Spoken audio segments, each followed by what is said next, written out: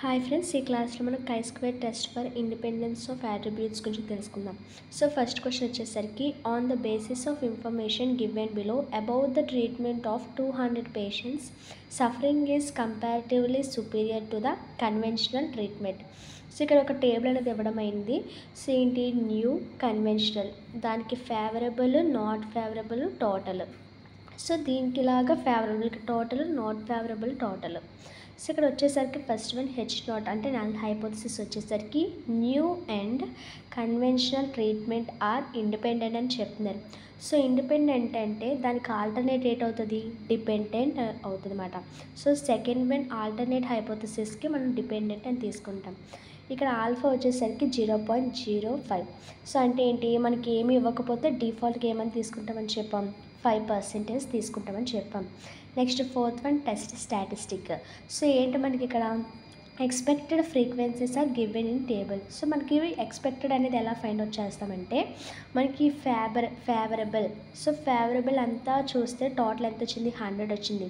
So ఈ hundred into first new కదా చేస్తాం. సో న్యూ అంటే ఎంత? Total ninety so hundred into ninety by టోటల్లో మొత్తం దీన్ని దీన్ని టోటల్ చేస్తే ఎంత వచ్చింది? Two hundred. So hundred into ninety by two hundred అంటే ఎంత? Forty five. సో దీనికి కూడా సేమ్ అలాగే చేస్తాం. ఇక్కడికి వచ్చేసరికి కన్వెన్షనల్ ఏంటి? Hundred into one ten by two hundred. Hundred into one ten by two hundred ఎంత? Fifty five. సో ఇక్కడ టోటల్ ఎంత? ఫార్టీ ఫైవ్ ఫార్టీ ఫైవ్ అంటే ninety. Fifty five fifty five అంటే వన్ టెన్ హండ్రెడ్ హండ్రెడ్ అంటే two hundred so ఇవేంటివి? Expected frequencies so observed frequencies observed frequencies అంటే ఏంటి? మనకి ఇక్కడ ఎయిట్ ఎయిట్ వచ్చే ఫేవరబుల్లో సిక్స్టీ వచ్చింది ఫార్టీ వచ్చింది థర్టీ వచ్చింది సెవెంటీ వచ్చింది. సో వీటే రాసుకుంటాం sixty thirty forty seventy. Sixty thirty forty seventy. Total వచ్చేసరికి ఎంత? Two hundred. ఇవి అబ్జర్వ్డ్ ఫ్రీక్వెన్సీ అంటే ఓ. ఎక్స్పెక్టెడ్ ఫ్రీక్వెన్సీ అంటే ఏంటంటే వచ్చినాయి? Forty five forty five fifty five fifty five. So అవి మనకి ఎక్స్పెక్టెడ్ ఫ్రీక్వెన్సీస్. సో వీటి టోటల్ కూడా టూ హండ్రెడే.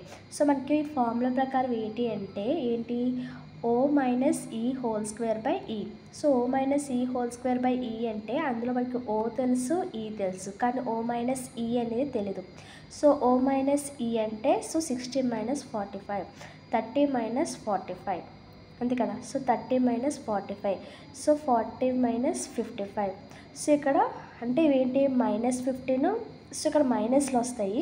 సో ఈ మైనస్ అనేది హోల్ స్క్వేర్ చేసేటప్పుడు ప్లస్ అయిపోతుంది కాబట్టి ఇక్కడ డైరెక్ట్గా నేను మైనస్ పెట్టకుండా ప్లస్ అని ఉంచేసాను. సో ఈ మైనస్ వస్తే ఈ మైనస్ని మనం హోల్ స్క్వేర్ చేసేటప్పుడు ప్లస్ అయిపోతాయి. అన్ని two twenty five two twenty five two twenty five two twenty five వస్తాయి. సో ఏంటి? ఇది O minus E whole square. కానీ ఇక్కడ మనకి ఫార్ములా ప్రకారం ఏం కావాలి? బై ఈ కూడా కావాలి. ఈ అంటే ఎంత? Forty five. So two twenty five by forty five ఎంత? ఫైవ్ సో అలాగే వాల్యూస్ అని చేసి దానికి ఎంత వచ్చింది మనకి? Total eighteen point one eight వచ్చింది. సో ఎయిటీన్ పాయింట్ వన్ ఎయిట్కి కన్క్లూజన్ చూద్దాం. So chi square table for V equal to so మనం ఏం చూసాం? ఎన్ మైనస్ వన్ ఫామ్లో చూసాం. ఎన్ మైనస్ టూ ఫామ్లో చూసాం ఇప్పటి వరకు. లేదా V one comma V two అంటే ఎన్ వన్ మైనస్ వన్ ఒకదానికి ఎన్ టూ మైనస్ వన్ ఒకదానికి. సో ఇక్కడికి వచ్చేసరికి chi square test for independence of యాట్రిబ్యూట్స్కి వచ్చేసరికి two minus one into two minus one అంటే ఎంత? సో ఇది formula two minus one into two minus one so ఇక్కడ ఎన్ని ఉన్నాయి ఎన్ వాల్యూ ఎంత? ఇక్కడ మనకి టూ సో ఇక్కడ ఏంటి? టూ హండ్రెడ్ పేషెంట్స్ ఇచ్చారని అది టూ హండ్రెడ్ అనేది సైజ్ అవ్వదు. సో మనకి ఎంతమంది ఉన్నారు ఇక్కడ? సో టూ పర్సన్స్ అనేవాళ్ళు ఉన్నారు. సో టూ పేషెంట్స్ సో ఇక్కడికి టూ పేషెంట్స్ కాదు. సో న్యూ కన్వెన్షనల్ అని టూ ఉన్నాయి. సో అది సైజ్ అవుతుంది. Two minus one into two minus one equal to one. Degree of freedom at five percent level is. So one దగ్గర V అనేది one దగ్గర five percentage level దగ్గర మనకి ఎంత ఉంది? టేబుల్ వెళ్ళి చూద్దాం. చూసినట్లయితే ఇక్కడ ఇదిగోండి వి అనేది మనకి వన్ కదా. జీరో పాయింట్ జీరో ఫైవ్ అంటే ఫైవ్ పర్సెంటేజ్ ఎంత ఉంది? మనకి three point eight four one అనేది ఉంది. సో ఇది మనం ఇక్కడ రాసుకున్నట్లయితే ఎంత? ఫైవ్ పర్సెంట్ లెవెల్ దగ్గర three point eight four one ఉంది.